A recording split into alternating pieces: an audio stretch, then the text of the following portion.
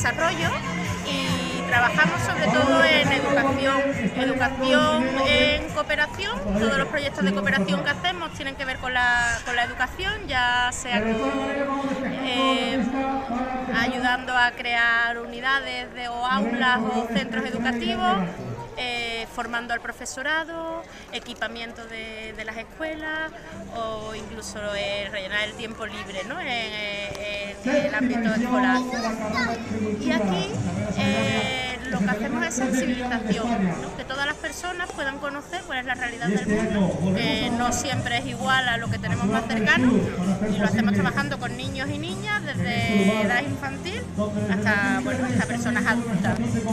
Como esta carrera, que lo que hacemos es contar que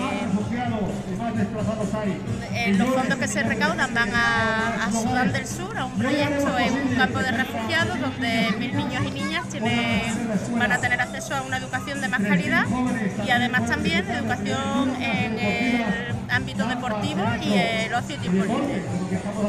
Eh, para Entrecultura, bueno, pues todas las temáticas que tienen que ver con la formación y con la educación son fundamentales porque creemos que la educación es la herramienta de cambio social más potente que existe. para defender tu propio futuro eso. Y las temáticas fundamentales que tenemos, sobre todo en este momento, son bueno, pues la, educación para la igualdad, tanto de género como con personas de diferentes culturas, diferentes religiones.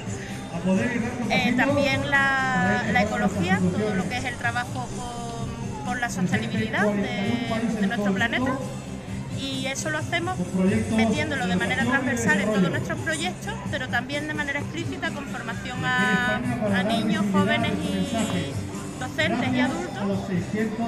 Bueno, pues para empezar a cambiar nuestros hábitos de vida, para, para tener una mayor sostenibilidad.